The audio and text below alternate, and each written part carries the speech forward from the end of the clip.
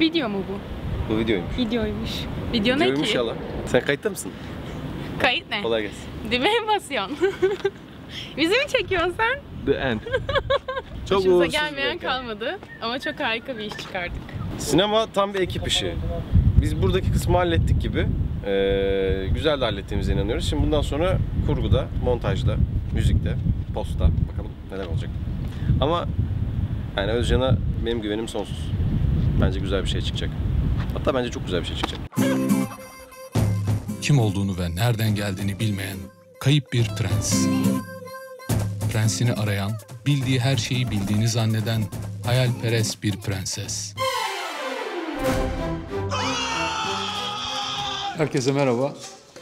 Ee, sizlere yeni çektiğimiz e, Sevimli Tehlikeli adlı filmi biraz anlatmak istiyorum. Çok geniş bir aileye sahibim. Bu ailenin de e, yarısından fazlası nüfusu genç nüfus.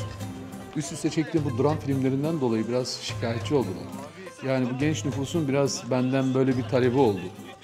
Ama ben e, sadece gençlere, çocuklara yönelik bir film yapmaktan da biraz kaçındım. O yüzden bu, bu dengeyi koruyabilmek için sevimli, tehlikeli konseptinde bir film çıktı. Sinemanın gerçeklerini daha çok baz aldım.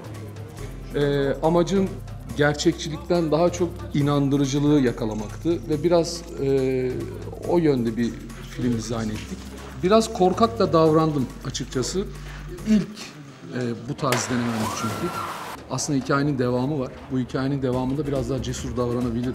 Hem yapımcıların hem de filmin içinde benim olmayışım ilk başta herkesi biraz ürküttü. O yüzden e, çok cesur davranamadım. Yani ben daha abartılı, biraz daha aksiyona ağırlık veren bir film planlıyordum. E, belki ikincisinde inşallah o hayallerimiz gerçekleşecek.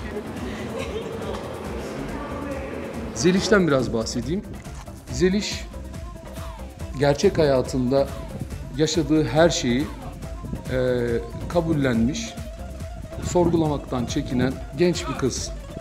Yaşı ilerledikçe, yaşı büyüdükçe sorgulamaya başlayan, kafasındaki soru işaretlerine cevap arayan, aramak isteyen bir kıza dönüşüyor. Tam bu esnada hayatına Zarok diye bir karakter giriyor. Film hakkında söyleyebileceğim şeyler çok uzun. Ee, ne kadar zamanımız var? babası tarafından kapalı devre yaşatıldığı hayatta e, tahayyül bile edemeyeceği maceralara sürüklüyor Zeliş'i. Zarok tam olarak nereden geldiğini bilmeyen bir çocuk. Bir çetenin elinde büyümüş. E, ve kendi hikayesini sorabileceği, nereden geldiğini öğrenebileceği herkesi kaybetmiş. Bunun cevaplarını bilmiyor. E, kendi yaşadığı hayatı da içselleştirmiş. Orada da oldukça profesyonel. Ama biraz komik, eğlenceli bir adam. Bu iki karakterin birleşimi. E, oradan çıkan bir hikaye. Tabii backgroundlarında şu an söylemediğim, filmde saklı olan çok ciddi bir hikaye var. Bugün setimizin son günü. Yaklaşık bir 6 haftadır bayağı yorulduk.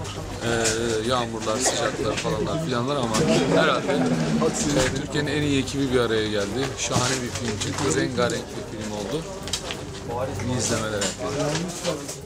Buldun beni. Şimdi ne olacak?